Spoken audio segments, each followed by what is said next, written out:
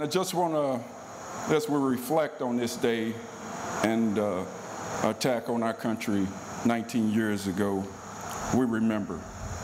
And I want to thank James and the PenFed family for remembering and never forgetting.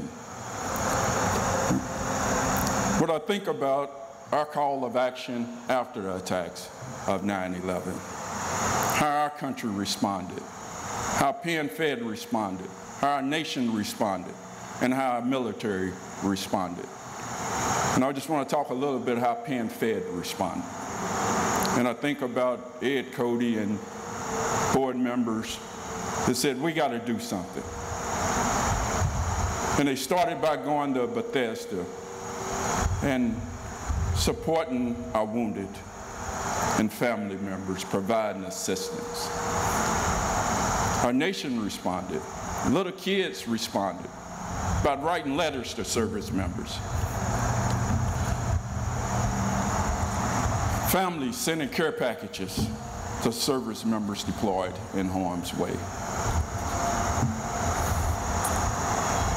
And so many associations providing assistance to Gold Star families.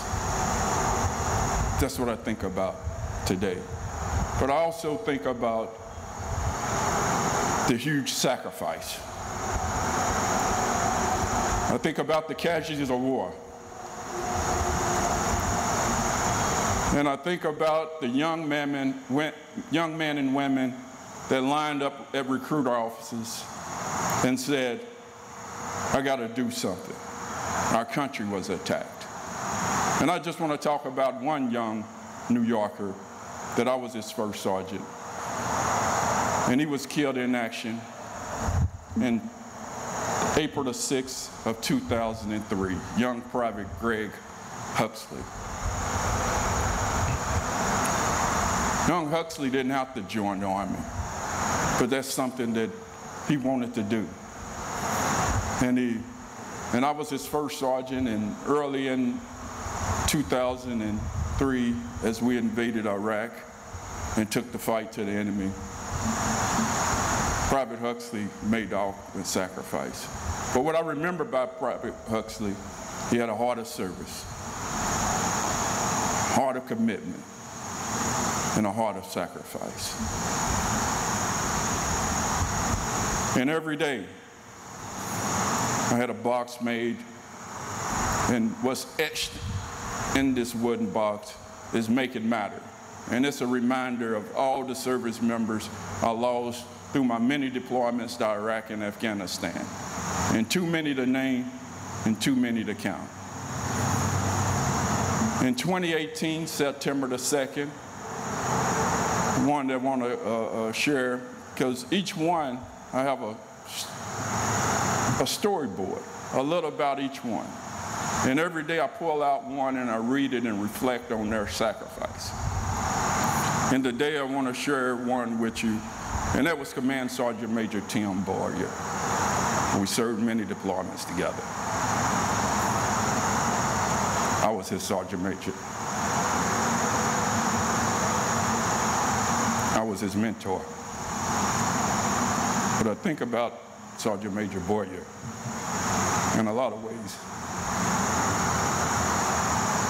He was my mentor. Sergeant Major Bolyard was killed in action on 3 September of 2018 by small, small arms fire. Sergeant Major Bolyard served over 20 years in the U.S. Army. He was a great friend. Had a great family, a young son. And like so many service members that made the ultimate sacrifice, they never had opportunity to walk back through the doors of their home to see their loved ones. They never had a chance to tuck their children in the bed. They never had opportunity to spend birthdays together with their family, their anniversaries, their holidays.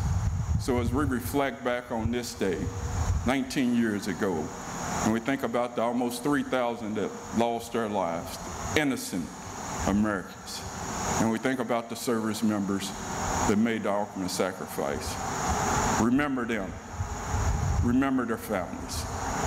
And I want to thank PenFed for everything that you continue to do in giving back and providing assistance to first responders and to our military and our veterans community. Thank you.